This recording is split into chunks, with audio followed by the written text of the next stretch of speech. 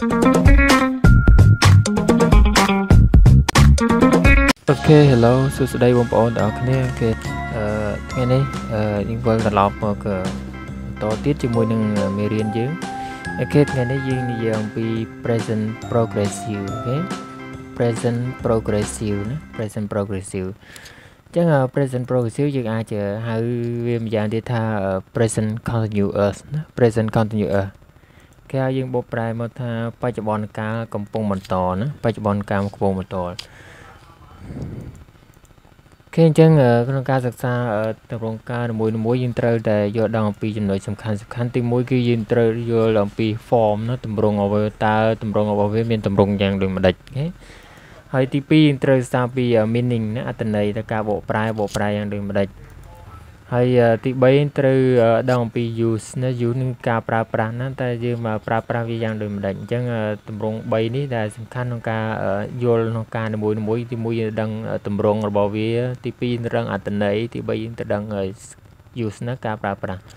គេអញ្ចឹងតើតើ present progressive មានទម្រង់យ៉ាងដូចម្ដេចហើយមានអត្ថន័យយ៉ាងដូចម្ដេចហើយនឹងមានការប្រើប្រាស់យ៉ាងដូចម្ដេចណា គេអញ្ចឹង present progressive យើង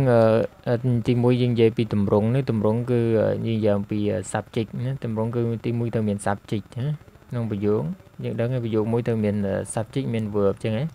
ចឹងហើយណាគេអញ្ចឹងតម្រងវាគឺ subject plus ជាមួយនឹងគេហៅ be be តែ be យើងប្របែកមាន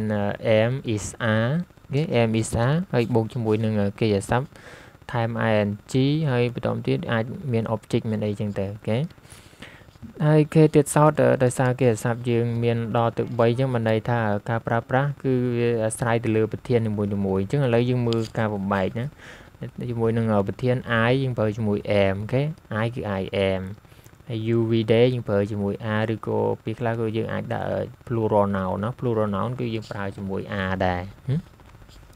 ខាងមួយទៀតជាមួយនឹងបរិបទទី3ឯកណៈ he she it ឬក៏ singular noun យើងប្រើជាមួយ is ណាជាមួយ is អញ្ចឹង I បានតែជាមួយ am ជាមួយ am you we they ឬក៏ plural noun ជាមួយ are he she it ឬក៏ singular noun ជាមួយ is តោះទៀតយើងបូកជាមួយ verb ing នេះគឺដូចគ្នាទាំងអស់ណាដូចគ្នាណាគ្រប់ប្រធានអូខេគឺក៏អាចមាន object អញ្ចឹងទៅអូខេគេមកទៀតនិយាយពី meaning and usage ណាតន័យនៃការប្រើប្រាស់ ចឹងករណីទី1ថា present progressive is used to talk about an action that is happening at the moment of speaking ចឹងករណីដែលសំខាន់ណាសំខាន់ជាងគេគឺគេនិយាយថាបច្ចុប្បន្នការកំពុងបន្តគឺបានត្រូវបានគេប្រើប្រាស់ដើម្បីនិយាយអំពីសកម្មភាពដែលកំពុងតែកើតឡើងនៅពេលដែលកំពុងតែនិយាយណានេះហ្នឹងវាសំខាន់ជាងគេរំលងចំណុច snow របស់វាគឺនិយាយអំពីសកម្មភាពដែលកំពុងតែកើតឡើងនៅពេលដែលកំពុងតែកំ ពុងតែនិយាយឥឡូវហ្នឹងអូខេហើយ remove ដូចជាគេ number 1 I am writing a topic I am writing a topic ខ្ញុំកំពុងតែសរសេរអត្ថបទមួយណាកំពុងតែសរសេរអត្ថបទមួយចុះមិនន័យថាគាត់ដល់ពេលឥឡូវនេះគាត់កំពុងតែសរសេរសរសេរអត្ថបទណាអត្ថបទមួយគេអញ្ចឹង I ជា am ហើយ write នេះគឺ verb ing មិនន័យ write គេថែម ing ណាជា writing I am writing អូខេ Okay, number two, she is running. She is running. She is running ចឹង run យើងទៅ time ing គឺសាប់ run គេនាងកំពុងតែកំពុងតែរត់បណ្ដៃតែឥឡូវនេះយើងកំពុងនិយាយយើងមើលទៅនាងកំពុងតែលើកដៃលើកជើងរត់ណារត់ទៅមុខខេ Okay number 3 they are playing football ណា they are playing football ចឹង day យើងប្រើជាមួយ to be យើងគឺ are ហើយបន្តទៀត verb ing គឺ playing ណា playing football គេកំពុងតែលេងបាល់ទាត់អញ្ចឹងមិនដែលយើងនិយាយយើងមិនដែលថាពួកគេកំពុងតែទាត់ណាកំពុងតែរត់ស្កាត់អីអញ្ចឹងទៅសុទ្ធចូលទីអញ្ចឹងណាយើងនិយាយថា they are playing football អូខេគេ number 4 Dari is cooking ណា Dari កំពុងតែធ្វើម្ហូបអញ្ចឹងជាមួយ Dari បរិបទទី3ឯកចំណាអញ្ចឹងយើង to be ប្រើមួយ is ហើយសັບ ing យើងគឺ cooking ណា cook តាម ing ជា cooking ណា រីកំពុងតែធ្វើម្ហូបអញ្ចឹងមិនន័យថាយើងនិយាយអញ្ចឹងមិនន័យថាដារីកំពុងតែហាន់បន្លែចិត្តសាច់អីអញ្ចឹងទៅណាណាគេកំពុងតែធ្វើម្ហូបណានៅក្នុងជាក្រានក្នុងអីចឹងទៅគេគេ number 5 Jen and Joe are sleeping Jen and Joe are sleeping Jen and Joe នេះហៅថា plural noun ណាណាគេ plural noun អញ្ចឹង sub to be យើងប្រើជាមួយ are ណាចិនចូល are sleeping អញ្ចឹង sleep sleeping គឺគេសាប់ថៃមែនជីណា sleep is sleeping គេចិនចូល are sleeping ចិនចូលកំពុងតែកំពុងតែគេងមានន័យថាកំពុងតែលងលក់ណាកំពុងតែលក់ហើយអូខេ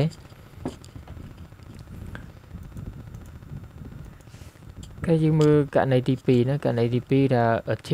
temporary activity that is in progress but not necessary at the time of speaking ថា សកម្មភាពលក្ខណៈបណ្ដោះអាសន្ន temporary activity សកម្មភាពលក្ខណៈបណ្ដោះអាសន្ន that is in progress ដែលកំពុងតែកើតមានឡើងកំពុងតែបន្តប៉ុន្តែមិនចាំបាច់នៅពេលកំពុងតែនិយាយទេប៉ុន្តែថាសកម្មភាពមួយកំពុងតែបន្តដែរធ្វើដែរប៉ុន្តែមិនទាន់ចប់ប៉ុន្តែហើយនៅពេលដែលកំពុងនិយាយនេះគឺมันมันมันឃើញកំពុងតែធ្វើទេណាឃើញកំពុងតែធ្វើទេ ថា something that is progress today អ្វីដែលកំពុងកើតឡើងនៅក្នុងថ្ងៃនេះ this week ក្នុងសប្តាហ៍នេះ this month នៅខែនេះ and this year នៅឆ្នាំនេះណាឆ្នាំនេះ Okay number 1ជា I am writing okay ជា number 1 uh, I am doing a research ខ្ញុំកំពុងតែធ្វើការសិក្សាស្រាវជ្រាវកំពុងធ្វើការសិក្សាស្រាវជ្រាវ ចឹងអាចថាការសិក្សាស្រាវជ្រាវអាចចំណាយពេលថា3ខែឬក៏1ឆ្នាំអីចឹងទៅប៉ុន្តែនិយាយអ្នកនិយាយនេះបានន័យថាគេធ្វើបានខ្លះហើយប៉ុន្តែពេលនេះគេអាចយកពេលនឹងទៅសម្រាកទៅអីឬក៏ទៅនិយាយលេងផឹកកាហ្វេចឹងណាហើយការងារ research គេហ្នឹងគឺមិនទាន់ចប់ទេអញ្ចឹងក៏គេអាចនិយាយថា I am doing a research បានដែរមកកំពុងតែធ្វើខ្ញុំកំពុងតែធ្វើការសិក្សាស្រាវស្រាវជ្រាវ Okay number 2 see building a house នាងកំពុងតែសាងសង់ផ្ទះ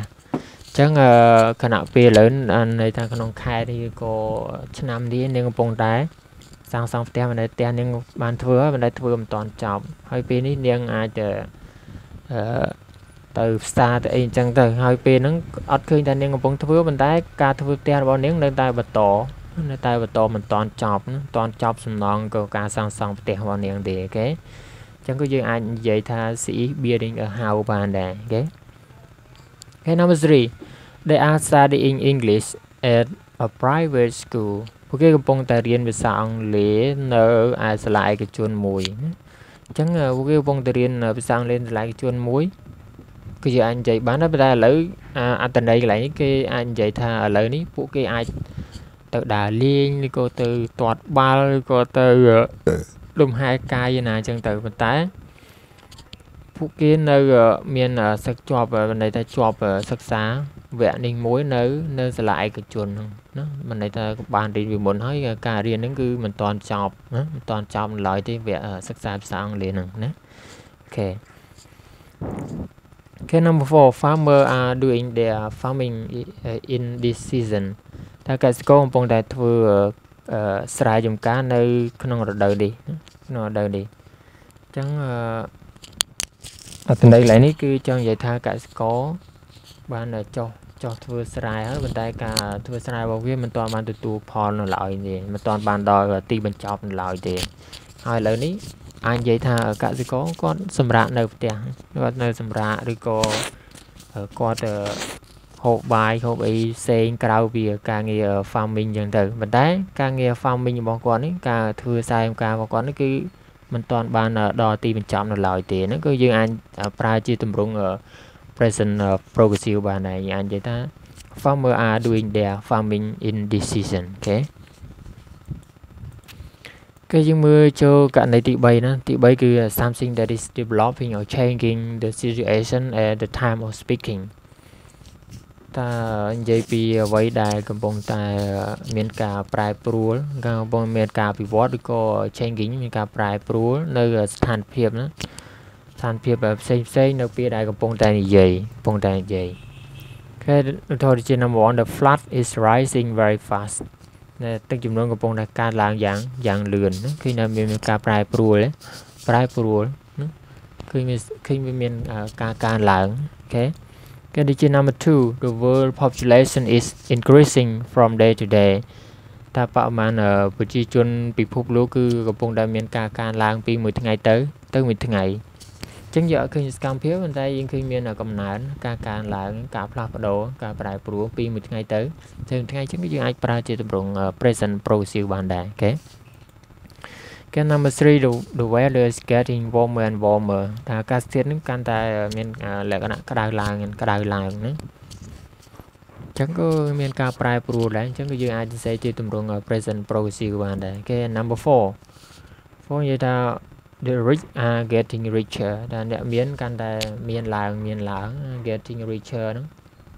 កាន់តែមានឡើងមានឡើងអញ្ចឹងទៅគឺក៏យើងអាចនិយាយថា the poor are getting poorer